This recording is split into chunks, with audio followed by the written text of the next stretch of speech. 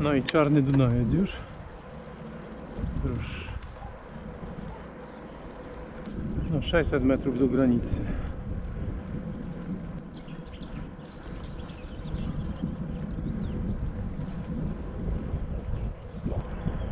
Koniec podjazdu i granica.